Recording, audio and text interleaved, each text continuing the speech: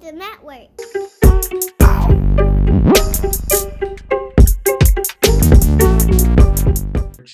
that much outside of shows? Because I know you said you send uh, something a week, one text a week.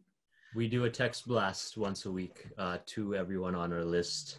And we do we do two things with text. Like basically, we do that one text blast. So there's like we think about it as like some like one text blast a week from us to them, and then like we also give them an opportunity once a week to text us. I mean, obviously, if they just randomly text us, we're gonna text them. But like scheduling wise, we also have this thing called oh you you're gonna die. It's called Corn Hub. it's it's been He's like, yo, I can't take y'all. Right? it's it's not what you think it is, all right. the whole idea is we beat it up in front of you, but not. It's not what you think. It's basically we we make. we wait, wait, let us explain. We'll explain. We'll explain. I promise it'll make sense. Context. It's all about context. Context, man. We make we make a beat on IG Live in 15 minutes, but we make a beat using rules that our fans text us. So a fan might be like, "Yo."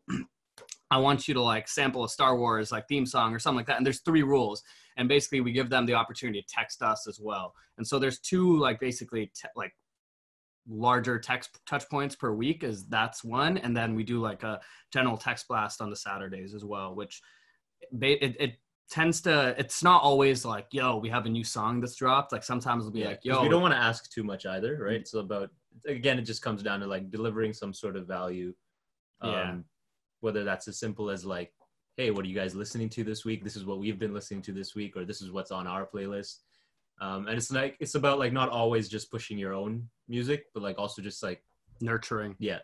Yeah. Just building those relationships really. Yeah.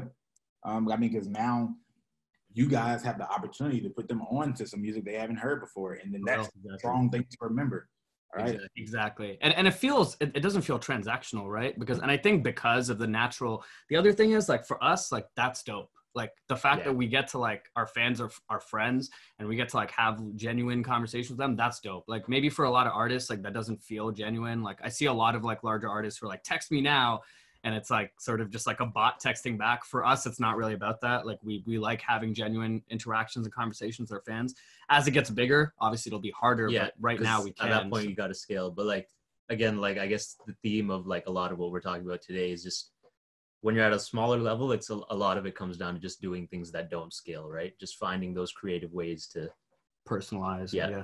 what tech software do you guys use superphone cool yeah and Hmm. And you guys wouldn't say it's expensive for y'all. I mean, I know you guys aren't like I know you guys aren't way up here as artists, right, financially, and yeah. I know you guys probably aren't the the you know just on the streets as well. Yeah. But generally speaking, for you, based on a typical artist budget, all the things you guys have to pay for, the the obviously I, I think you guys think it's worth it.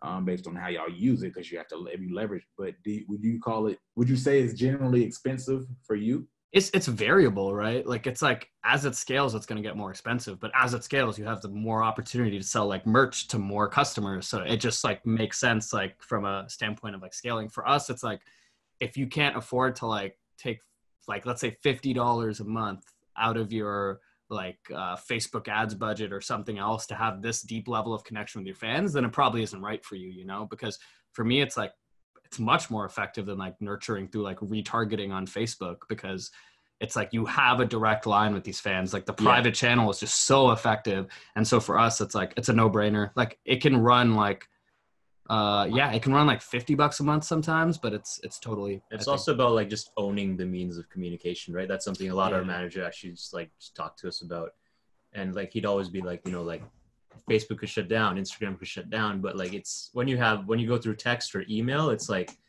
those those things are gonna last. You know what I mean? So it's like no matter what, you have that information to like even if something else shuts down, you have that that direct to consumer.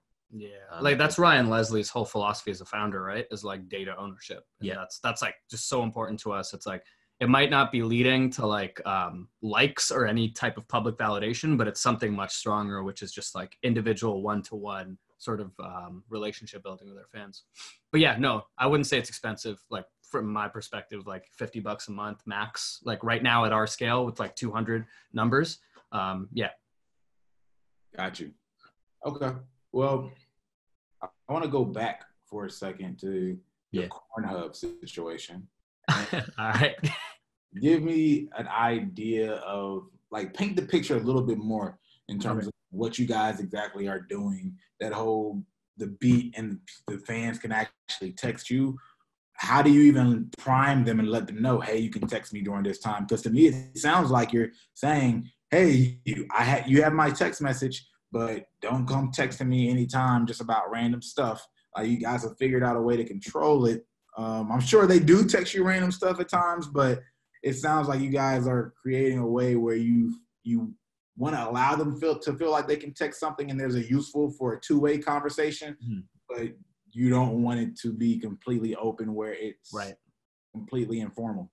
Um, like honestly, at the scale we're at, we're we're okay with it being completely open. Just to clear that up, like if, if our fans like text us out of nowhere, like we're totally fine having conversation with them. I, I guess I more so meant like formally, like the formal touch points are like twice a week, like with the once like with the Corn Hub stuff on Thursdays, and then the um Saturday like text blast. Um, like what we do is we'll go on Instagram stories and uh, we've started to try and experiment with TikTok, but that's a bit harder because like you're getting people for the most part, you're getting people who aren't as nurtured. But like mainly like Instagram stories and be like, yo, this is our this is our number right here. Like text us a rule and you have the chance for this rule to be picked. We're picking three random rules this week. Um, these are some examples of like fans who have like actually got the rule picked last week and they're hella excited, just sort of showing that like social proof that it is possible. You know what I'm saying? And then and then from there, like people are usually like just happy to text in and be a part of the creative process. Dope. Dope. And you guys will say, since you really focus on this part of strategy, because you know, obviously you've tried a lot of other tactics, right? But when you talk about the show strategy and then adding in SMS, point, how long have you been working that to get from zero to nurtured list and a 250 people show that's based all on you guys? And is that still at 10 Sorry. Is that still what? at ten dollars a person? No, oh, so that's a good point. No, so the first show is ten dollars. The second show is fifteen. This this show is twenty two dollars per ticket. Twenty-two dollars and two hundred fifty people. Yeah. Yeah, I love it. I Yeah. love it. this All right. dude, dude, making for us to like have that little bit of gratification, like side point for us because we lost money on the first two shows because of the venue and everything. It was just so DIY. But like for us to like go into that third show and be like, fuck, like we walked away with money, regardless of how much money it is, even if it's equivalent to like one or two paychecks in my old job, like amazing feeling Yeah. and that that as an artist that can keep you going for like an entire year man I, I get it. Like, look, fifty, what, twenty-two? You said twenty-two times 250, 5,500, right? Yeah. And that's far more than the nothing that so many people make just to Oh, get the show right. Let alone to be able to do that alone. That's a strong number. And I know you're now at the point. Well, you probably did this when you made twenty dollars and fifty dollars, but now you see five thousand five hundred. Holy shit! If I double this, Yeah. right, and I keep and hope Exactly. this, right? You, you already have a system. That's what I like. What you got, what, you guys are doing, and I try to explain to people, right? Is just, just getting these random results. They're cool, but you guys have a level of certainty where you just say, okay, when are we going to do it again? Versus what do I do? How did I do what I did? Right. So it's, it's Yeah. a really cool space to be in. And I want, I don't, before we move on, It's the network.